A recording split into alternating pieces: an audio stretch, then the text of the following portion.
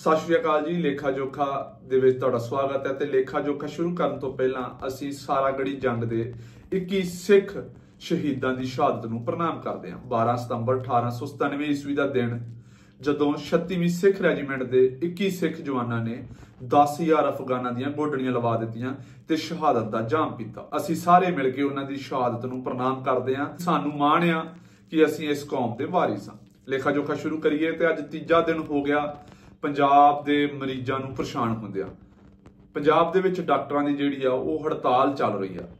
ਅੱਜ ਤੀਸਰੇ ਦਿਨ ਦੇ ਵਿੱਚ ਚਲੀ ਗਈ ਪੀਸੀਐਮਐਸਏ ਵੱਲੋਂ ਇਹ ਹੜਤਾਲ ਜਿਹੜੀ ਸੀ, ਅੱਜ ਤੀਸਰੇ ਦਿਨ ਦੇ ਵਿੱਚ ਦਾਖਲ ਹੋ ਗਈ ਤੇ ਉਹਨਾਂ ਨੇ ਕਿਹਾ ਕਿ ਅਗਲੇ 4 ਦਿਨਾਂ ਦੇ ਲਈ ਹੋਰ ਓਪੀਡੀ ਸੇਵਾਵਾਂ ਜਿਹੜੀਆਂ ਨੇ, ਉਹ ਪੂਰਨ ਤੌਰ ਤੇ ਬੰਦ ਰਹਿਣਗੀਆਂ।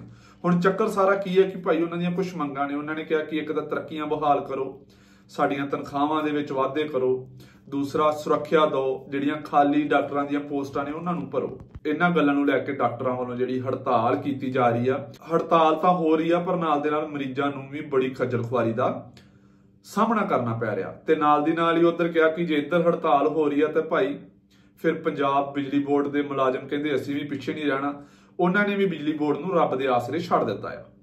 ਤੇ ਅਗਲੇ 5 ਦਿਨਾਂ ਤੱਕ ਉਹਨਾਂ ਨੇ ਵੀ ਹੜਤਾਲ ਕਰਨ ਦਾ ਫੈਸਲਾ ਲੈ ਲਿਆ ਆ। 17 ਸਤੰਬਰ ਤੱਕ ਜਿਹੜੀ ਆ ਉਹਨਾਂ ਨੇ ਹੜਤਾਲ ਚਾਲੂ ਰੱਖਣ ਦਾ ਐਲਾਨ ਕਰ ਦਿੱਤਾ ਹੈ। ਸਾਰਾ ਜ਼ੋਰ ਜਿਹੜਾ ਆ ਪੰਜਾਬ ਦਾ ਹੜਤਾਲਾਂ ਦੇ ਉੱਤੇ ਚੱਲ ਰਿਹਾ ਹੈ। ਅੱਗੇ ਹੀ ਪੰਜਾਬ ਵਿੱਤੀ ਸੰਕਟ ਦੇ ਨਾਲ ਜੂਝ ਰਿਹਾ। ਦਰਮਾਨ ਸਾਹਿਬ ਕਹਿ ਰਹੇ ਨੇ, ਸਾਨੂੰ ਕਰਜ਼ਾ ਦਿਓ। ਸਾਡਾ ਕੰਮ ਨਹੀਂ ਚੱਲ ਰਿਹਾ ਪੰਜਾਬ ਦਾ। ਤੇ ਇਧਰਲੇ ਪਾਸੇ ਹੜਤਾਲਾਂ ਨੇ ਵੀ ਆਪਣਾ ਜ਼ੋਰ ਪਾਇਆ ਹੋਇਆ ਹੈ ਸਰਕਾਰ ਨੂੰ ਚਾਹੀਦਾ ਕਿ ਇਹਨਾਂ ਮੁੱਦਿਆਂ ਤੇ ਧਿਆਨ ਦੇ ਕੇ ਭਾਈ ਇਹਨਾਂ ਚੀਜ਼ਾਂ ਨੂੰ ਜਲਦੀ ਤੋਂ ਜਲਦੀ ਨਿਬੇੜੇ। ਕਾਮਰੇਡ ਸੀਤਾਰਾਮ ਜੇਚੁਰੀ, ਜਿਹੜੇ ਮਾਰਕਸਵਾਦੀ ਕਮਿਊਨਿਸਟ ਪਾਰਟੀ ਦੇ ਜਨਰਲ ਸਕੱਤਰ ਸੀ, ਉਹਨਾਂ ਦਾ ਅੱਜ ਭਾਈ ਦੇਹਾਂਤ ਹੋ ਗਿਆ। ਜਹਾਨੋਂ ਰੁਖਸਤ ਹੋ ਗਏ 72 ਸਾਲ ਦੀ ਉਮਰ ਸੀ ਤੇ ਸਾਹ ਦੀ ਬਿਮਾਰੀ ਤੋਂ ਉਹ ਪੀੜਤ ਸਨ। ਲੰਮਾ ਚਿਰ ਹੋ ਗਿਆ ਸੀ ਉਹਨਾਂ ਨੂੰ ਸਾਹ ਦੀ ਬਿਮਾਰੀ ਚੱਲਦੀ ਸੀ ਤੇ ਦਿੱਲੀ ਦੇ ਏਮਜ਼ ਹਸਪਤਾਲ ਦੇ ਵਿੱਚ ਉਹਨਾਂ ਦਾ ਇਲਾਜ ਚੱਲ ਰਿਹਾ ਸੀ। ਕਹਿੰਦੇ ਕਿ ਚੰਗੇ ਚੋਟੀ ਦੇ ਡਾਕਟਰ ਉਹਨਾਂ ਦੀ ਸਿਹਤ ਦਾ ਧਿਆਨ ਰੱਖ ਰਹੇ ਸੀ, ਪਰ ਬੁਲਾਵਾ ਆ ਗਿਆ ਤੇ ਕਾਮਰੇਡ ਸੀਤਾਰਾਮ ਉਹਨਾਂ ਨੂੰ ਜਾਣਾ ਪਿਆ। ਦਿੱਲੀ ਸ਼ਰਾਬ ਘਟਾਲੇ ਮਾਮਲੇ ਨੂੰ ਲੈ ਕੇ ਸੁਪਰੀਮ ਕੋਰਟ ਦੇ ਵਿੱਚ ਚੁਣੌਤੀ ਦਿੱਤੀ ਸੀ ਕੇਜਰੀਵਾਲ ਸਾਹਿਬ ਉਹਨਾਂ ਨੇ ਕਿ ਭਾਈ ਸੀਬੀਆਈ ਨੇ ਮੈਨੂੰ ਗ੍ਰਿਫਤਾਰ ਕੀਤਾ ਆ। ਉਸ ਚੀਜ਼ ਨੂੰ ਲੈ ਕੇ ਇਹਨਾਂ ਨੇ ਚੁਣੌਤੀ ਦਿੱਤੀ ਸੀ। ਉਸ ਦੀ ਜ਼ਮਾਨਤ ਦਾ ਫੈਸਲਾ ਸੁਪਰੀਮ ਕੋਰਟ ਨੇ ਕੱਲ ਨੂੰ ਰੱਖ ਲਿੱਤਾ ਹੈ। ਸੋ ਲੰਮਾ ਸਮਾਂ ਹੋ ਗਿਆ ਕੇਜਰੀਵਾਲ ਨੂੰ ਜੇਲ੍ਹ ਦੇ ਵਿੱਚ। ਰਹਿੰਦਿਆਂ ਇਹਨਾਂ ਨੇ ਕਿਹਾ ਸੀ ਕਿ ਜੇ ਮੈਨੂੰ ਈਡੀ ਜ਼ਮਾਨਤ ਦੇ ਸਕਦੀ ਹੈ ਤਾਂ ਸੀਬੀਆਈ ਨੇ ਮੈਨੂੰ ਜਿਹੜਾ ਆ ਬਿਲਕੁਲ ਹੀ ਗਲਤ ਤਰੀਕੇ ਦੇ ਨਾਲ ਗ੍ਰਿਫਤਾਰ ਕੀਤਾ ਹੋਇਆ। ਤਾਂ ਸੀਬੀਆਈ ਨੇ ਵੀ ਆਪਣਾ ਪੱਖ ਰੱਖਿਆ ਸੀ ਕਿ ਭਾਈ ਅਸੀਂ ਇਹਨਾਂ ਤੋਂ ਪੁੱਛਗਿੱਛ ਕਰਨੀ ਸੀ। ਪੰਜਾਬ ਦੇ ਨਾਲ ਵੀ ਇਹਨਾਂ ਦੇ ਸਬੰਧ ਜੁੜਦੇ ਇਸ ਘਟਾਲੇ ਨੂੰ ਲੈ ਕੇ। ਦੂਸਰਾ ਜਿਹੜੇ ਗਵਾਹ ਸੀ, ਇਹਨਾਂ ਦਾ ਹੋਲਡ ਵੱਡਾ ਆ, ਇਹਨਾਂ ਦਾ ਅਹੁਦਾ ਵੱਡਾ ਆ। ਇਸ ਕਰਕੇ ਗਵਾਹ ਜਿਹੜੇ ਸੀ ਜੇ ਬਾਹਰ ਰਹਿੰਦੇ ਤਾਂ ਉਹ ਇਹਨਾਂ ਦੇ ਡਰ ਕਰਕੇ ਨਹੀਂ ਸੀ ਆਉਂਦੇ। ਕਈ ਗੱਲਾਂ ਸੀਬੀਆਈ ਨੇ ਵੀ ਰੱਖੀਆਂ ਸੀ। ਹੁਣ ਕੱਲ ਨੂੰ ਫੈਸਲਾ ਹੋਣਾ ਆ। ਦੇਖਦੇ ਆ ਕਿਸ ਪੱਖ ਦੇ ਵਿੱਚ ਫੈਸਲਾ ਆਉਂਦਾ ਕਿ ਹੋਰ ਸਮਾਂ ਵੀ ਜੇਲ੍ਹ ਦੇ ਵਿੱਚ ਗੁਜ਼ਾਰਨਾ ਪਏਗਾ ਕੇਜਰੀਵਾਲ ਉਹਨਾਂ ਨੂੰ, ਜਾਂ ਫਿਰ ਬਾਹਰ ਆ ਕੇ ਬਾਗੀਆਂ ਪਾਉਣਗੇ। ਇਹ ਕੱਲ ਦਾ ਸਮਾਂ ਜਿਹੜਾ ਆ, ਉਹ ਦੱਸੇਗਾ। ਆਪਾਂ ਅਗਲੀ ਖਬਰ ਵੱਲ ਚੱਲਦੇ ਆ ਲਾਰੈਂਸ ਬਿਸ਼ਨੋਈ ਮਾਮਲੇ ਦੇ ਵਿੱਚ ਅੱਜ ਹਾਈ ਕੋਰਟ ਦੇ ਵਿੱਚ ਸੁਣਵਾਈ ਹੋਈ ਤੇ ਪੰਜਾਬ ਦੇ ਐਡਵੋਕੇਟ ਜਨਰਲ ਉਹਨਾਂ ਨੇ ਆਪਣਾ ਪੱਖ ਜਿਹੜਾ ਸੀ, ਉੱਥੇ ਪੇਸ਼ ਕੀਤਾ। ਉਹਨਾਂ ਨੇ ਕਿਹਾ ਕਿ ਜਿਹੜੇ ਵੀ ਪੁਲਿਸ ਮੁਲਾਜ਼ਮਾਂ ਨੇ ਇਹਨਾਂ ਦੀ ਭਾਈ ਇੰਟਰਵਿਊ ਕਰਵਾਈ ਆ, ਉਹਨਾਂ ਦੇ ਉੱਤੇ ਪੰਜਾਬ ਸਰਕਾਰ ਨਕੇਲ ਪਾਵੇਗੀ, ਉਹਨਾਂ ਦੇ ਉੱਪਰ ਵੱਡੀ ਕਾਰਵਾਈ ਕਰਨ ਜਾ ਰਹੀ ਹੈ। ਪਿਛਲੇ ਦਿਨੀ ਇਹ ਖੁਲਾਸਾ ਹੋਇਆ ਸੀ ਕਿ ਜਿਹੜੀ ਇੱਕ ਇੰਟਰਵਿਊ ਆ, ਉਹ ਖਰੜ ਦੇ ਸੀਏ ਸਟਾਫ ਦੇ ਥਾਣੇ ਦੇ ਵਿੱਚ ਹੋਈ ਆ ਤੇ ਇਸ ਚੀਜ਼ ਨੂੰ ਲੈ ਕੇ ਬੜੇ ਚਰਚਾ ਦੇ ਵਿੱਚ ਇਹ ਸਾਰਾ ਮਾਮਲਾ ਆ ਗਿਆ ਸੀ, ਕਿਉਂਕਿ ਪਹਿਲਾਂ ਪੰਜਾਬ ਸਰਕਾਰ ਇਸ ਚੀਜ਼ ਤੋਂ ਪਾਸਾ ਵੱਟਦੀ ਆਈ ਸੀ ਕਿ ਭਾਈ ਨਾ ਸਾਡੇ ਪੰਜਾਬ ਦੇ ਵਿੱਚ ਇਹ ਜਿਹੜੀ ਇੰਟਰਵਿਊ ਨਹੀਂ ਹੋਈ ਬੜਾ ਕੁਝ ਕਿਹਾ ਜੀ, ਵੇਖੋ ਪਹਿਲਾਂ ਦੀਆਂ ਮੁੱਛਾਂ ਹੋਰ ਸੀ, ਉਹਨੇ ਦਾੜੀ ਰੱਖੀ ਸੀ ਦਾੜੀ ਕਟਾਲੀ, ਵਾਲ ਵੱਡੇ ਸੀ, ਉਰਾ ਪਰਾ। ਪਰ ਸਾਰਾ ਕੁਝ ਹੀ ਜਦੋਂ ਇੱਕ ਰਿਪੋਰਟ ਦੇ ਵਿੱਚ ਆ ਕੇ ਜਨਤਕ ਹੋਇਆ, ਤਾਂ ਫਿਰ ਪੰਜਾਬ ਸਰਕਾਰ ਦੇ ਉੱਪਰ ਵੀ ਇਹ ਤਲਵਾਰ ਲਟਕੀ। ਸੋ ਉਹਨਾਂ ਨੇ ਫਿਰ ਹੁਣ ਕਿਹਾ ਕਿ ਭਾਈ, ਜਿਹੜੇ ਵੀ ਬੰਦੇ ਇਸ ਮਾਮਲੇ ਦੇ ਵਿੱਚ ਸ਼ਾਮਲ ਸੀ, ਅਸੀਂ ਉਹਨਾਂ ਦੇ ਉੱਪਰ ਕਾਰਵਾਈ ਕਰਾਂਗੇ। ਖੇਡਾਂ ਦੀ ਗੱਲ ਵੀ ਕਰੀਏ ਵਿੱਚ ਵਿੱਚ ਤਾਂ ਹਾਕੀ ਦੇ ਵਿੱਚ ਮੁੰਡੇ ਕਮਾਲ ਕਰੀ ਜਾ ਰਹੇ ਨੇ। ਪਹਿਲਾਂ ਭਾਈ ਉਹਨਾਂ ਨੇ ਜਾਪਾਨ ਨੂੰ ਰੋਂਦਿਆ ਚੀਨ ਨੂੰ ਰੋਂਦਿਆ ਫਿਰ ਮਲੇਸ਼ੀਆ ਨੂੰ 8-1 ਦੇ ਨਾਲ ਹਰਾਇਆ। ਅੱਜ ਦੱਖਣੀ ਕੋਰੀਆ ਵੀ ਉਹਨਾਂ ਨੇ ਕਿਹਾ ਵੀ ਤੁਹਾਨੂੰ ਵੀ ਉਹੀ ਤਕੜੀ ਤੋਲਾਂਗੇ ਤਿੰਨ ਇੱਕ ਦੇ ਨਾਲ ਉਹਨਾਂ ਨੂੰ ਵੀ ਹਰਾ ਦਿੱਤਾ। ਹੁਣ ਆਖਰੀ ਰਾਉਂਡ ਦੇ ਵਿੱਚ ਮੁਕਾਬਲਾ ਜਿਹੜਾ ਆ ਭਾਈ ਉਹਨਾਂ ਦਾ ਪਾਕਿਸਤਾਨ ਦੇ ਨਾਲ ਹੋਣਾ ਆ।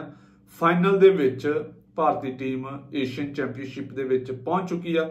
ਆਸ ਕਰਦੇ ਆ ਪਾਕਿਸਤਾਨ ਨੂੰ ਵੀ ਹਰਾਵੇਗੀ ਤੇ ਨਾਲ ਦੀ ਨਾਲ ਜਦੋਂ ਫਾਈਨਲ ਦੇ ਵਿੱਚ ਉਹਨਾਂ ਦਾ ਜਿਸ ਵੀ ਟੀਮ ਦੇ ਨਾਲ ਮੁਕਾਬਲਾ ਹੋਵੇਗਾ ਤਾਂ ਸੋਨ ਤਗਮਾ ਲੈ ਕੇ ਮੁੜੇਗੀ। ਇਹੋ ਹੀ ਅਰਦਾਸ ਕਰਦੇ ਹਾਂ, ਮੁੰਡੇ ਪੂਰੇ ਜੋਸ਼ ਦੇ ਵਿੱਚ ਚੱਲ ਰਹੇ ਨੇ। ਹੁਣ ਚੱਲਦੇ ਹਾਂ ਆਪਾਂ ਸਿੱਧਾ ਵਿਕਰਮਜੀਤ ਸਿੰਘ ਮਜੀਠੀਆ ਉਹਨਾਂ ਵੱਲ। ਡਰੱਗ ਮਾਮਲੇ ਦੇ ਵਿੱਚ ਉਹਨਾਂ ਦਾ ਨਾਮ ਜਿਹੜਾ ਸੀ ਉਸ ਕੇਸ ਦੇ ਵਿੱਚ ਨਾਮਜ਼ਦ ਆ ਤੇ ਉਸ ਕੇਸ ਦੇ ਵਿੱਚ ਹੁਣ ਈਡੀ ਦੀ ਐਂਟਰੀ ਹੋ ਗਈ ਆ। 432 ਕਰੋੜ ਦਾ ਮਾਮਲਾ ਆ ਤੇ ਈਡੀ ਨੇ ਸਿੱਟ ਨੂੰ ਕਿਹਾ ਕਿ ਭਾਈ ਸਾਨੂੰ ਇਸ ਦੀ ਰਿਪੋਰਟ ਦਿਓ, ਕੀ ਚੱਕਰ ਆ ਸਾਰਾ ਕੁਝ ਇਸ ਮਾਮਲੇ ਨੂੰ ਲੈ ਕੇ ਤੇ ਆਪ ਦੇ ਜਿਹੜੇ ਮੁੱਖ ਬੁਲਾਰੇ ਨੇ, ਨੀਲ ਗਰਗ, ਉਹਨਾਂ ਨੇ ਕਿਹਾ ਕਿ ਭਾਈ ਜਿਹੜਾ ਈਡੀ ਇਸ ਮਾਮਲੇ ਦੇ ਵਿੱਚ ਆ ਗਿਆ, ਹੁਣ ਲੱਗਦਾ ਹੈ ਕਿ ਕੇਂਦਰ ਸਰਕਾਰ ਚਾਹੁੰਦੀ ਹੈ ਕਿ ਬਿਕਰਮਜੀਤ ਸਿੰਘ ਮਜੀਠੀਆ ਨੂੰ ਬਚਾ ਲਿਆ ਜਾਵੇ। ਕਹਿੰਦੇ ਇਹਨਾਂ ਦੇ ਸਬੰਧ ਨਰਿੰਦਰ ਮੋਦੀ ਹੋਣਾ ਨਾਲ ਭਾਈ ਬਹੁਤ ਵਧੀਆ ਨੇ ਤੇ ਇਸ ਕਰਕੇ ਸਾਨੂੰ ਲੱਗਦਾ ਆ ਕਿ ਇਹਨਾਂ ਨੂੰ ਇਹ ਬਚਾ ਲੈਣਗੇ। ਕਹਿੰਦੇ ਇਹਨਾਂ ਦੀ ਕੇਂਦਰ ਦੇ ਨਾਲ ਪੂਰੀ ਇੱਕ ਮੇਕਿਆ ਉਹਨਾਂ ਨੇ ਕਿਹਾ ਕਿ ਪੰਜਾਬ ਸਰਕਾਰ ਵੀ ਸਿੱਟ ਦੇ ਉੱਪਰ ਪੂਰੀ ਤਰ੍ਹਾਂ ਆਪਣਾ ਕੰਮ ਕਰੇਗੀ, ਜਿਹੜੀ ਸਿੱਟ ਬਣਾਈ ਆ, ਉਹਨੂੰ ਪੂਰੀ ਜਾਂਚ ਉਹਦੀ ਚੱਲਦੀ ਰਹੇਗੀ, ਸਿੱਟ ਆਪਣਾ ਕੰਮ ਕਰੇਗੀ, ਜਦੋਂ ਉਹਦੀ ਜਾਂਚ ਪੂਰੀ ਹੋ ਜਾਏਗੀ, ਕਹਿੰਦੇ ਅਸੀਂ ਵੀ ਆਪਣਾ ਚਲਾਨ ਜਿਹੜਾ ਆ ਪੇਸ਼ ਕਰ ਦਾਂਗੇ। ਕਹਿੰਦੇ ਗੈਂਗਸਟਰਵਾਦ ਹੋ ਗਿਆ, ਡਰੱਗ ਮਾਫੀਆ ਹੋ ਗਿਆ, ਹੋਰ ਵੀ ਜਿੰਨੇ ਮਾਫੀਏ ਨੇ, ਜੋ ਵੀ ਬੁਰੇ ਕੰਮ ਨੇ, ਕਰ ਰਹੇ ਨੇ, ਸਾਰੇ ਪੰਜਾਬ ਦੇ ਦੁਸ਼ਮਣ ਨੇ। ਕਹਿੰਦੇ ਭਾਈ ਕਿਸੇ ਨੂੰ ਵੀ ਬਖਸ਼ਿਆ ਨਹੀਂ ਜਾਏਗਾ। ਕਹਿੰਦੇ ਪਹਿਲੀ ਗੱਲ ਤਾਂ ਇਹ ਹੈ ਕਿ ਪੰਜਾਬ ਸਰਕਾਰ ਬਿਲਕੁਲ ਵੀ ਬਦਲਾਖੋਰੀ ਦੇ ਭਾਵਨਾ ਦੇ ਨਾਲ ਰਾਜਨੀਤੀ ਨਹੀਂ ਕਰੇਗੀ। ਜਿਹੜਾ ਜਿਹੜਾ ਬੰਦਾ ਵੀ ਕਹਿੰਦੇ ਇਸ ਮਾਮਲੇ ਦੇ ਵਿੱਚ ਸ਼ਾਮਲ ਹੋਏਗਾ, ਉਹਨੂੰ ਕਹਿੰਦੇ ਪੰਜਾਬ ਸਰਕਾਰ ਉਹਦੇ ਉੱਪਰ ਕਾਰਵਾਈ ਕਰੇਗੀ। ਕੋਈ ਇਦਾਂ ਦਾ ਨਹੀਂ, ਕੋਈ ਕਿਸੇ ਨਾਲ ਰੰਜਿਸ਼ ਨਹੀਂ, ਕੋਈ ਕੁਛ ਨਹੀਂ, ਕੋਈ ਕੀੜ ਨਹੀਂ ਕੱਢੀ ਜਾਵੇਗੀ। ਜਿਹੜੇ ਜਿਹੜੇ ਬੰਦੇ ਵੀ ਬੁਰੇ ਕੰਮ ਕਰਨਗੇ, ਪੰਜਾਬ ਸਰਕਾਰ ਉਹਨਾਂ ਨੂੰ ਫੜ ਕੇ ਕਹਿੰਦੇ ਜੇਲ੍ਹ ਦੇ ਵਿੱਚ ਸੁੱਟੇਗੀ। ਪੰਜਾਬ ਨੂੰ ਨਸ਼ਾ ਮੁਕਤ ਬਣਾਉਣ ਲਈ ਪੰਜਾਬ ਸਰਕਾਰ ਤੇ ਸਾਡੀ ਪੰਜਾਬ ਪੁਲਿਸ ਦਿਨ ਰਾਤ ਇੱਕ ਕਰੀ ਬੈਠੀ ਆ, ਦਿਨ ਰਾਤ ਕੰਮ ਕਰ ਰਹੀ ਆ। ਜਿਨ੍ਹਾਂ ਨੇ ਵੀ ਕਹਿੰਦੇ ਪੰਜਾਬ ਨੂੰ ਨਸ਼ੇ ਦੇ ਉੱਤੇ ਲਾਇਆ, ਉਹਨਾਂ ਨੂੰ ਅਸੀਂ ਜਲਦੀ ਫੜ ਕੇ ਜੇਲ੍ਹ ਦੇ ਵਿੱਚ ਦਵਾਂਗੇ। ਉਹ ਸਾਰੇ ਪੰਜਾਬ ਦੇ ਦੁਸ਼ਮਣ ਨੇ ਉਹਨਾਂ ਦੇ ਉੱਤੇ ਸਖਤੀ ਦੇ ਨਾਲ ਕਾਰਵਾਈ ਕੀਤੀ ਜਾਵੇਗੀ। ਕਿਸੇ ਨੂੰ ਵੀ ਭਾਈ ਨਹੀਂ ਬਖਸ਼ਿਆ ਜਾਵੇ। ਰਵਨੀਤ ਬਿੱਟੂ ਇਸ ਵੇਲੇ ਕੇਂਦਰ ਦੇ ਵਿੱਚ ਮੰਤਰੀ ਨੇ ਤੇ ਭਾਈ ਪੂਰੀ ਤਰ੍ਹਾਂ ਭਾਜਪਾ ਦੀ ਬੋਲੀ ਬੋਲ ਰਹੇ ਨੇ। ਐ ਲੰਮਾ ਸਮਾਂ ਉਹਨਾਂ ਨੇ ਰਾਹੁਲ ਗਾਂਧੀ ਦੇ ਨਾਲ ਯਾਰੀ ਨਿਭਾਈ ਤੇ ਪਰ ਅੱਜ ਉਹਨਾਂ ਦੇ ਵਿਰੋਧ ਦੇ ਵਿੱਚ ਉਹਨਾਂ ਨੇ ਫਿਰ ਤਿੱਖੇ ਹਮਲੇ ਕੀਤੇ। ਉਹਨਾਂ ਨੇ ਕਿਹਾ ਕਿ ਭਾਈ ਰਾਹੁਲ ਗਾਂਧੀ ਤੇ ਖਾਲਿਸਤਾਨੀ ਸਮਰਥਕ ਗੁਰਪਤਵੰਤ ਸਿੰਘ ਪੰਨੂ ਦੇ ਵਿੱਚ ਕੋਈ ਵੀ ਫ਼ਰਕ ਨਹੀਂ।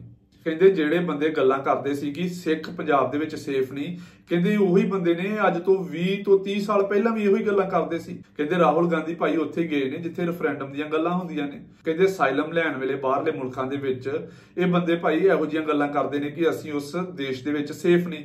ਤੇ ਕਹਿੰਦੇ ਰਾਹੁਲ ਗਾਂਧੀ ਨੇ ਜਾ ਕੇ ਉਹਨਾਂ ਦੀ ਹਾਂ ਦੇ ਵਿੱਚ ਹਾਂ ਮਿਲਾ ਦਿੱਤੀ ਆ। ਕਹਿੰਦੇ ਸਮਝ ਨਹੀਂ ਆਉਂਦੀ। ਇਹ ਉਹੀ ਬੰਦੇ ਨੇ ਜਿਹੜੇ ਪਹਿਲਾਂ ਰਾਹੁਲ ਗਾਂਧੀ ਦੇ ਵਿਰੋਧੀ ਸੀ, ਅੱਜ ਇਹ ਸਾਰੇ ਜਾਣੇ ਘਿਓ ਸ਼ੱਕਰ ਹੋਈ ਬੈਠੇ ਨੇ। ਅਸਲ ਦੇ ਵਿੱਚ ਕਹਿੰਦੇ ਰਾਹੁਲ ਗਾਂਧੀ ਦਾ ਮੰਤਵ ਇਹੋ ਹੀ ਆ ਕਿ ਭਾਈ ਸਿੱਖ ਭੋਲੇ ਭਾਲੇ ਨੇ, ਸਿੱਧੇ ਸਾਦੇ ਹੈਗੇ ਨੇ, ਇਹਨਾਂ ਨੂੰ ਆਪਸ ਦੇ ਵਿੱਚ ਲੜਾਇਆ ਜਾਵੇ। ਕਹਿੰਦੇ ਜਦੋਂ ਇਹ ਆਪਸ ਦੇ ਵਿੱਚ ਲੜਨ ਮਰਨਗੇ ਤੇ ਕਹਿੰਦੇ ਮੋਦੀ ਤੋਂ ਬਾਅਦ ਅਸੀਂ ਇਹਨਾਂ ਦੀ ਕੁਰਸੀ ਦੇ ਉੱਤੇ ਬੈਠਾਂਗੇ।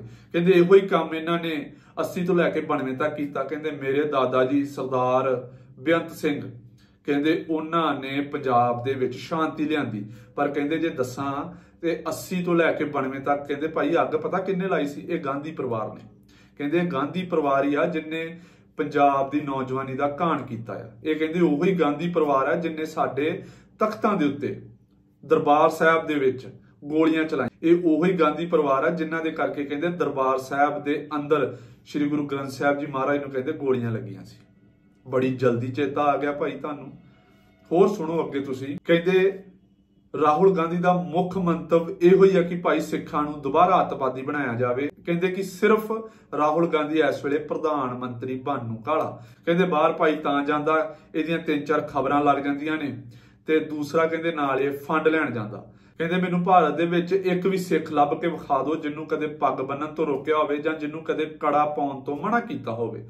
ਚਲੋ, ਤੁਹਾਡੇ ਧਿਆਨ ਦੇ ਵਿੱਚ ਭਾਈ ਨਹੀਂ ਆਉਂਦਾ ਹੋਵੇਗਾ ਕਿੰਨੀ ਵਾਰੀ ਕਕਾਰ ਪਹਿਨਣ ਤੋਂ ਹਵਾਈ ਜਹਾਜ਼ਾਂ ਦੇ ਵਿੱਚ ਰੋਕਿਆ ਗਿਆ ਆ, ਮੈਟਰੋ ਸਟੇਸ਼ਨਾਂ ਤੇ ਵੀ ਰੋਕਿਆ ਹੋਵੇਗਾ। ਚਲੋ, ਉਦੋਂ ਤੁਸੀਂ ਸ਼ਾਇਦ ਨਹੀਂ ਇੰਨਾ ਧਿਆਨ ਦਿੰਦੇ, ਤੁਸੀਂ ਬਿਜ਼ੀ ਬੰਦੇ ਹੋ। ਅੱਗੇ ਸੁਣੋ, ਹੋਰ ਕੀ ਕਹਿੰਦੇ? ਕਹਿੰਦੇ 84 ਦੇ ਵਿੱਚ ਜੋ ਗਾਂਧੀ ਪਰਿਵਾਰ ਨੇ ਕੀਤਾ, ਉਸ ਤੋਂ ਬਾਅਦ ਇਹਨਾਂ ਦੀ ਦਾਦੀ ਦੀ ਹੱਤਿਆ ਕਰ ਦਿੱਤੀ ਗਈ। ਕਹਿੰਦੇ ਇਹਨਾਂ ਦੇ ਪਿਓ ਨੇ ਫਿਰ ਜਿਹੜਾ ਬਦਲਾ ਲਿਆ, ਉਹ ਵੀ ਸਿੱਖ ਕੌਮ ਤੋਂ ਲਿਆ। ਕਹਿੰਦੇ ਅਸਲ ਦੇ ਵਿੱਚ ਇਹਨਾਂ ਦਾ ਮੇਨ ਮੰਤਵ ਭਾਈ ਸਿੱਖਾਂ ਨੂੰ ਅੱਤਵਾਦੀ ਬਣਾਉਣ ਦਾ ਆ। ਨਾਲ ਦੀ ਨਾਲ ਉਹ ਕਹਿੰਦੇ ਕਿ ਰਾਹੁਲ ਗਾਂਧੀ ਦੀ ਪੜ੍ਹਾਈ ਬਾਹਰ ਦੀ ਹੈ, ਇਹਦੇ ਯਾਰ ਦੋਸਤ ਬਾਹਰ ਦੇ ਆ, ਇਹਦਾ ਪਹਿਨਣਾ, ਉੱਠਣਾ, ਬੈਠਣਾ, ਸਾਰਾ ਕੁਝ ਕਹਿੰਦੇ ਇਹਦਾ ਵਿਦੇਸ਼ਾਂ ਦਾ ਆ। ਇਹਦਾ ਇੱਥੇ ਕਹਿੰਦੇ ਚਿੱਤ ਨਹੀਂ ਲੱਗਦਾ, ਇਸ ਕਰਕੇ ਕਹਿੰਦੇ ਇਹ ਬਾਹਰ ਜਾਂਦਾ ਆ। ਸੋ ਇਹ ਉਹੀ ਬਿੱਟੂ ਸਾਹਿਬ ਨੇ ਜਿਹੜੇ ਪਹਿਲਾਂ ਕਦੇ ਰਾਹੁਲ ਗਾਂਧੀ ਦੀ ਬੋਲੀ ਬੋਲਦੇ ਹੁੰਦੇ ਸੀ, ਇਹਨਾਂ ਸਾਰੀਆਂ ਚੀਜ਼ਾਂ ਨੂੰ ਸਹੀ ਠਹਿਰਾਉਂਦੇ ਹੁੰਦੇ ਸੀ ਤੇ ਇਹੋ ਹੀ ਹੁਣ ਅੱਜ ਕੱਲ ਜਦੋਂ ਵਜ਼ੀਰੀਆਂ ਮਿਲ ਗਈਆਂ ਨੇ ਤੇ ਰਾਹੁਲ ਗਾਂਧੀ ਵੀ ਇਹਨਾਂ ਨੂੰ ਮਾੜਾ ਲੱਗਣ ਲੱਗ ਪਿਆ ਭਾਈ। ਚਲੋ, ਇਹਨਾਂ ਦੀ ਆਪਣੀ ਸੋਚ ਆ, ਪਰ ਕਿੰਨੀ ਕੁ ਸਹੀ ਆ, ਕਿੰਨੀ ਕੁ ਨਹੀਂ, ਇਹ ਸਾਰੇ ਅਸੀਂ ਜਾਣਦੇ ਆ ਕਿ ਜਿਸ ਤਰੀਕੇ ਦੇ ਨਾਲ ਇਹਨਾਂ ਨੇ ਇਹ ਗੱਲਾਂ ਕਹਿ ਦਿੱਤੀਆਂ ਤੇ ਆਪਣਾ ਹੱਥ ਪੱਲਾ ਬਿਲਕੁਲ ਹੀ ਛੁਡਾ ਲਿਆ। ਯਾਦ ਰੱਖਣਾ ਚਾਹੀਦਾ ਕਿ ਕਾਂਗਰਸ ਦੇ ਵੇਲੇ ਜਦੋਂ ਸਿੱਖਾਂ ਦਾ ਘਾਣ ਹੋਇਆ ਸੀ, ਤੁਹਾਡੇ ਪਿਓ ਦਾਦੇ ਉਸ ਵੇਲੇ ਸਰਕਾਰਾਂ ਦੇ ਵਿੱਚ ਵਜ਼ੀਰੀਆਂ ਮਾਰ ਰਹੇ ਸੀ। ਜਦੋਂ ਨੌਜਵਾਨੀ ਦਾ ਘਾਣ ਹੋਇਆ ਸੀ ਤਾਂ ਉਸ ਦੀ ਵਾਗਡੋਰ ਤੁਹਾਡੇ ਦਾਦੇ ਦੇ ਹੱਥ ਸੀ। 84 ਦੇ ਵਿੱਚ ਜਦੋਂ ਸਿੱਖਾਂ ਦਾ ਕਤਲੇਆਮ ਹੋਇਆ, ਉਦੋਂ ਵੀ ਤੁਹਾਡੇ ਪਰਿਵਾਰ ਦੇ ਉੱਪਰ ਇਹਨਾਂ ਇਹੋ ਹੀ ਗਾਂਧੀ ਪਰਿਵਾਰ ਦਾ ਪੂਰਾ ਹੱਥ ਸੀ। ਇਹੋ ਹੀ ਗਾਂਧੀ ਪਰਿਵਾਰ ਹੈ ਜਿਨਨੇ ਫਿਰ ਤੁਹਾਨੂੰ Z+ ਸਿਕਿਉਰਿਟੀਆਂ ਦਵਾਈਆਂ ਸੀ। ਸੋ ਠੀਕ ਆ ਭਾਈ, ਤੁਹਾਨੂੰ ਵਜ਼ੀਰੀਆਂ ਮਿਲ ਗਈਆਂ, ਪਰ ਪਹਿਲਾਂ ਵੀ ਜਿਹੜਾ ਸੀ ਇਹਨਾਂ ਬੰਦਿਆਂ ਨੇ ਸਿੱਖ ਕੌਮ ਪ੍ਰਤੀ ਕਦੇ ਵੀ ਕੋਈ ਆਪਣਾ ਫਰਜ਼ ਨਹੀਂ ਨਿਭਾਇਆ। ਹੁਣ ਕਿੱਥੋਂ ਨਿਭਾਉਣਗੇ? ਸੋ ਕਹਿਣ ਦੀਆਂ ਗੱਲਾਂ ਨੇ। ਆਪਾਂ ਅਗਲੀ ਖਬਰ ਵੱਲ ਚੱਲਦੇ ਹਾਂ। ਰਾਹੁਲ ਗਾਂਧੀ ਹੁਣਾਂ ਦਾ ਜਿਹੜਾ ਬਿਆਨ ਸੀ ਸਿੱਖਾਂ ਦੇ ਬਾਰੇ ਯੂਐਸਏ ਦੇ ਵਿੱਚ ਉਸ ਨੇ ਕਾਫੀ ਉਸ ਦਾ ਵਿਰੋਧ ਵੀ ਹੋਇਆ, ਕਈ ਉਹਦੇ ਪੱਖ ਦੇ ਵਿੱਚ ਵੀ ਆਏ। ਪਰ ਅੱਜ ਭਾਜਪਾ ਦੇ ਸਾਬਕਾ ਵਿਧਾਇਕ ਹਰਵਿੰਦਰ ਸਿੰਘ ਮਰਵਾਹਾ, ਉਹਨਾਂ ਨੇ ਇੱਕ ਬਿਆਨ ਦਿੰਦਿਆਂ ਕਿਹਾ ਕਿ ਰਾਹੁਲ ਗਾਂਧੀ ਬਾਜ ਆ ਜਾ, ਨਹੀਂ ਤੇ ਜੋ ਤੇਰੀ ਦਾਦੀ ਦਾ ਹਾਲ ਹੋਇਆ, ਉਹੀ ਤੇਰਾ ਕਰਾਂਗੇ। ਸ਼ਰੇਆਮ ਜਿਹੜੀ ਸੀ ਰਾਹੁਲ ਗਾਂਧੀ ਨੂੰ ਜਾਨੋਂ ਮਾਰਨ ਦੀ ਧਮਕੀ ਦਿੱਤੀ, ਇਸ ਉੱਤੇ ਕਾਂਗਰਸ ਨੇ ਵੀਡੀਓ ਜਾਰੀ ਕਰਦਿਆਂ ਹਰਵਿੰਦਰ ਸਿੰਘ ਮਰਵਾਹਾ ਦੀ, ਉਹਨਾਂ ਨੇ ਕਿਹਾ ਕਿ ਭਾਈ ਇਸ ਉੱਤੇ ਕਾਰਵਾਈ ਵੀ ਕੀਤੀ ਜਾਵੇ। ਬਿਆਨ ਦਿੱਤਾ ਕਿ ਸਿੱਖ ਸੇਫ ਨਹੀਂ ਤਾਂ ਫਿਰ ਇਹਨਾਂ ਦੋਵਾਂ ਪਾਰਟੀਆਂ ਨੂੰ ਸਿੱਖਾਂ ਦੇ ਮੁੱਦਿਆਂ ਦੇ ਉੱਤੇ ਰਾਜਨੀਤੀ ਲੱਭ ਗਈ। ਜੇ ਸਿੱਖ ਸੇਫ ਨਹੀਂ, ਤਾਂ ਤੁਸੀਂ ਸਿੱਖਾਂ ਨੂੰ ਸੇਫ ਕਰਨ ਲਈ ਭਾਈ ਕੀਤਾ ਵੀ ਕੀ ਆ? ਜੇ ਕਾਂਗਰਸ ਦੀ ਗੱਲ ਕਰ ਲਈਏ, ਤਾਂ ਲੰਮਾ ਇਤਿਹਾਸ ਆ। ਸਾਡੇ ਤਖਤਾਂ ਤੋਂ ਲੈ ਕੇ ਸਾਡੀ ਸਿੱਖ ਕੌਮ ਦੀ ਨਸਲਕੁਸ਼ੀ ਸਾਡੀ ਨੌਜਵਾਨੀ ਦਾ ਕਹਾਣ ਹੈ, ਤੇ ਜੇ ਫਿਰ ਇਧਰਲੇ ਪਾਸੇ ਆ ਜਾਈਏ ਤਾਂ ਭਾਈ ਬੜਾ ਕੁਛ ਹੈ ਇਧਰ ਵੀ। ਬੰਦੀ ਸਿੰਘਾਂ ਤੋਂ ਗੱਲ ਸ਼ੁਰੂ ਕਰ ਲਓ। ਬੰਦੀ ਸਿੰਘ, ਜਿਨ੍ਹਾਂ ਦੇ ਉੱਤੇ ਚਾਹੇ ਇਹ ਹੋ ਗਏ ਜਾਂ ਇਹਨਾਂ ਦੇ ਨਾਲ ਜਿਹੜੇ ਭਾਈਵਾਲ ਸੀ, ਅਕਾਲੀ ਦਲ, ਇਹਨਾਂ ਨੇ ਰੱਜ ਕੇ ਸਿਆਸਤ ਕੀਤੀ ਹੈ। ਕਿਸੇ ਨੇ ਵੀ ਸਿੱਖ ਮੁੱਦਿਆਂ ਨੂੰ ਸੁਲਝਾਉਣ ਦੀ ਕਦੇ ਕੋਸ਼ਿਸ਼ ਨਹੀਂ ਕੀਤੀ, ਸਿਰਫ ਤੇ ਸਿਰਫ ਮੁੱਦਿਆਂ ਨੂੰ ਰਾਜਨੀਤੀ ਲਈ ਤੇ ਆਪਣੀ ਵੋਟਾਂ ਦੇ ਲਈ ਵਰਤਿਆ ਜਿਹੜੇ ਕਹਿੰਦੇ ਨੇ ਕਿ ਅਸੀਂ ਪਿਛਲੇ 60 ਸਾਲਾਂ ਤੋਂ ਦਸਤਾਰਾਂ ਬੰਨ੍ਹਦੇ ਆ ਰਹੇ ਹਾਂ, ਸਾਨੂੰ ਤਾਂ ਕਿਸੇ ਨੇ ਕਦੇ ਕੁਝ ਨਹੀਂ ਕਿਹਾ। ਜਿਹੜੇ ਇੱਥੇ ਤੱਕ ਕਹਿੰਦੇ ਨੇ ਕਿ ਭਾਈ ਸਾਡੀਆਂ ਦਸਤਾਰਾਂ ਸੇਫ ਨੇ ਤੇ ਇਹਨਾਂ ਨੂੰ ਬਚਾਉਣ ਵਾਲਾ ਨਰਿੰਦਰ ਮੋਦੀ ਹੀ ਹੈ ਤੇ ਇੱਥੋਂ ਤੱਕ ਵੀ ਕਹਿ ਦਿੰਦੇ ਨੇ ਕਿ ਭਾਈ ਨਰਿੰਦਰ ਮੋਦੀ ਸਾਡੇ ਤੋਂ ਵੱਧ ਕੇ ਸਿੱਖਿਆ ਉਸ ਨੂੰ ਸਿੱਖੀ ਦੀ ਜ਼ਿਆਦਾ ਨੌਲੇਜ ਆ। ਸਾਡੇ ਸਾਰਿਆਂ ਨੂੰ ਵੱਧ ਕੇ ਉਹ ਸਿੱਖਿਆ। ਉਹਨਾਂ ਬੰਦਿਆਂ ਤੋਂ ਸਿੱਖ ਮੁੱਦੇ ਸੁਲਝਾਉਣ ਦੀ ਤੁਸੀਂ ਕਿਸ ਤਰ੍ਹਾਂ ਆਸ ਲਗਾ ਸਕਦੇ ਹੋ? ਜੇ ਕਾਂਗਰਸ ਦੇ ਉੱਤੇ ਗੁਰੂ ਘਰਾਂ ਨੂੰ ਢਾਉਣ ਦੇ ਇਲਜ਼ਾਮ ਲੱਗਦੇ ਨੇ, ਜੋ ਹੈ ਵੀ ਨੇ, ਤਾਂ ਇਹਨਾਂ ਨੇ ਵੀ ਕੋਈ ਘੱਟ ਨਹੀਂ ਗੁਜ਼ਾਰੀ। ਆਪਣੇ ਚੋਣ ਪ੍ਰਚਾਰਾਂ ਦੇ ਦੌਰਾਨ ਗੁਰਦੁਆਰਿਆਂ ਨੂੰ ਢਾਉਣ ਦੀਆਂ ਧਮਕੀਆਂ ਤੱਕ ਦਿੱਤੀਆਂ ਨੇ। ਜਿਵੇਂ ਕਈ ਗੁਰਦੁਆਰਾ ਸਾਹਿਬ ਜਿਹੜੇ ਨੇ, ਉਹ ਢਾ ਦਿੱਤੇ ਗਏ ਨੇ। ਇਹਨਾਂ ਸਰਕਾਰਾਂ ਦੀ ਝੋਲੀ ਦੇ ਵਿੱਚ ਬੈਠੇ ਸਿੱਖ ਲੀਡਰ ਜਿਹੜੇ ਆਪਣੇ ਆਪ ਨੂੰ ਸਿੱਖ ਲੀਡਰ ਖਵਾਉਂਦੇ ਨੇ, ਜਿਨ੍ਹਾਂ ਨੂੰ ਸਰਕਾਰਾਂ ਨੇ ਵੱਡੇ ਵੱਡੇ ਅਹੁਦਿਆਂ ਦੇ ਨਾਲ ਉਹਨਾਂ ਦੇ ਮੂੰਹ ਬੰਦ ਕਰਵਾਏ ਨੇ, ਉਹਨਾਂ ਤੋਂ ਅਸੀਂ ਸਿੱਖ ਮੁੱਦਿਆਂ ਦੀ ਕਿਵੇਂ ਆਸ ਕਰਦੇ ਹਾਂ ਕਿ ਉਹ ਸੁਲਝਾ ਸਕਦੇ ਨੇ। ਜਿਹੜੇ ਇਹ ਗੱਲਾਂ ਕਰਦੇ ਨੇ ਕਿ ਭਾਈ ਗੁਰੂ ਨਾਨਕ ਦੇਵ ਜੀ ਕ੍ਰਿਸ਼ਨ ਭਗਵਾਨ ਦਾ ਅਵਤਾਰ ਨੇ, ਜਿਹੜੇ ਵਾਰ-ਵਾਰ ਸਾਨੂੰ ਸਨਾਤਨ ਦੇ ਨਾਲ ਜੋੜਦੇ ਨੇ ਕਿ ਭਾਈ ਸਿੱਖ ਧਰਮ ਜਿਹੜਾ ਆ, ਇੱਕ ਸਨਾਤਨ ਦਾ ਹਿੱਸਾ ਆ। ਤੇ ਇਹਨਾਂ ਉੱਤੇ ਕੋਈ ਕਾਰਵਾਈ ਨਹੀਂ ਕਰਦੇ, ਬਲਕਿ ਸਿਰਫ ਉਹ ਇਹ ਮੁੱਦਾ ਵੇਖਦੇ ਨੇ ਕਿ ਭਾਈ ਜਿਹੜਾ ਮੁੱਦਾ ਚੱਲ ਰਿਹਾ ਹੈ, ਇਹਨਾਂ ਦੇ ਉੱਤੇ ਰਾਜਨੀਤੀ ਕਰਕੇ ਅਸੀਂ ਆਪਣੇ ਆਕਾ ਦੀ ਕਿਵੇਂ ਵਾਹ-ਵਾਹ ਖੱਟ ਸਕਦੇ ਹਾਂ। ਜੇ ਤੁਹਾਨੂੰ ਲੱਗਦਾ ਹੈ ਕਿ ਭਾਈ ਇੰਨੀ ਹੀ ਠੇਸ ਪਹੁੰਚੀ ਹੈ ਸਿੱਖੀ ਨੂੰ, ਇਹ ਰਾਹੁਲ ਗਾਂਧੀ ਦੇ ਬਿਆਨਾਂ ਨਾਲ, ਤਾਂ ਫਿਰ ਤੁਸੀਂ ਸਿੱਖੀ ਦੇ ਲਈ ਕੀ ਕੀਤਾ ਭਾਈ? ਕਕਾਰਾਂ ਦੀ ਗੱਲ ਕੀਤੀ ਜਾਵੇ ਤਾਂ ਕਿੰਨੇ ਮੁੱਦੇ ਸਾਹਮਣੇ ਆਉਂਦੇ ਨੇ ਜਦੋਂ ਸਿੱਖਾਂ ਦੇ ਕਕਾਰ ਲਵਾਏ ਜਾਂਦੇ ਨੇ। ਇਮਤਿਹਾਨਾਂ ਦੇ ਵਿੱਚ ਕਕਾਰਾਂ ਨੂੰ ਗਹਿਣੇ ਦਾ ਰੂਪ ਦੇ ਕੇ ਜਬਰੀ ਜਿਹੜੇ ਆ ਸਿੱਖਾਂ ਦੇ ਕਕਾਰ ਲਹਾਏ ਜਾਂਦੇ ਨੇ। ਸੋਸ਼ਲ ਮੀਡੀਆ ਦੇ ਉੱਤੇ ਸਿੱਖ ਵਿਰੋਧੀ ਪ੍ਰੋਪਾਗੈਂਡਾ ਚਲਾਇਆ ਜਾਂਦਾ। ਕੋਈ ਵੀ ਬੰਦਾ ਆਪਣੇ ਇਤਿਹਾਸ ਦੀ ਕਿਸੇ ਵੀ ਤਰੀਕੇ ਦੀ ਗੱਲ ਕਰਦਾ ਤਾਂ ਥੱਲੇ ਆਈਟੀ ਸੈੱਲ ਵਾਲੇ ਉਹਨਾਂ ਨੂੰ ਖਾਲਸਤਾਨੀ ਜਾਂ ਸਨਾਤਨ ਧਰਮ ਨਾਲ ਜੋੜਨ ਲਈ ਊਲ ਜਲੂਲ ਗੱਲਾਂ ਕਰਦੇ ਨੇ। ਜੇਕਰ ਕੋਈ ਵਿਰੋਧ ਦੇ ਵਿੱਚ ਗੱਲ ਕਰਦਾ ਤਾਂ ਭਾਈ ਉਸਦੇ ਚੈਨਲ ਵੀ ਬੰਦ ਕੀਤੇ ਜਾਂਦੇ ਨੇ। ਇੱਥੋਂ ਤੱਕ ਕਿ ਦੇਸ਼ ਧਰੋਹ ਦਾ ਮੁਕੱਦਮਾ ਵੀ ਚਲਾਇਆ ਜਾਂਦਾ ਹੈ। ਇਹ ਦੋਨਾਂ ਪਾਰਟੀਆਂ ਦੇ ਲਈ ਇਹ ਸਿੱਖ ਮੁੱਦੇ, ਚਾਹੇ ਬੇਦਬੀਆਂ ਦੇ ਹੋਗੇ ਬੰਦੀ ਸਿੰਘਾਂ ਦੇ ਹੋਗੇ 84 ਦਾ ਹੋ ਗਿਆ ਹੋਰ ਜਿੰਨੇ ਵੀ ਮੁੱਦੇ ਅੱਜ ਤੱਕ ਦੇ ਹੋ ਗਏ ਨੇ, ਸਿੱਖਾਂ ਦੇ ਕਕਾਰ ਦੇ ਮੁੱਦੇ ਹੋ ਗਏ, ਇਹ ਸਿਰਫ ਇੱਕ ਵੋਟ ਬੈਂਕ ਹੈ, ਇਸ ਤੋਂ ਵੱਧ ਕੇ ਕੁਝ ਨਹੀਂ। ਜੇ ਤੁਸੀਂ ਇੰਨੇ ਹੀ ਸੰਜੀਦਾ ਹੋ ਸਿੱਖੀ ਪ੍ਰਤੀ, ਤਾਂ ਇਹਨਾਂ ਸਾਰੇ ਮਸਲਿਆਂ ਦਾ ਸੰਜੀਦਾ ਹੱਲ ਕੱਢ ਕੇ ਵਿਖਾਓ। ਫਿਰ ਭਾਈ, ਅਸੀਂ ਮੰਨਾਂਗੇ ਕਿ ਵਾਕਿਆ ਹੀ ਤੁਸੀਂ ਸਿੱਖੀ ਨੂੰ ਸਮਰਪਿਤ ਹੋ ਤੇ ਤੁਹਾਡਾ ਆਕਾ ਜਿਹੜਾ ਆ, ਸਾਡੇ ਸਾਰਿਆਂ ਨੂੰ ਵੱਧ ਕੇ ਇੱਕ ਸੱਚਾ ਸਿੱਖ ਆ। ਸੋ ਅੱਜ ਦਾ ਲੇਖਾ ਜੋਖਾ ਭਾਈ ਇੱਥੇ ਸਮਾਪਤ ਕਰਦੇ ਹਾਂ। ਜੁੜੇ ਰਹੋ ਤੁਸੀਂ ਸਾਡੇ ਨਾਲ। ਕੱਲ ਮਿਲਦੇ ਹਾਂ ਇੱਕ ਨਵੇਂ ਐਪੀਸੋਡ ਦੇ ਨਾਲ। ਸਤਿ ਸ਼੍ਰੀ ਅਕਾਲ।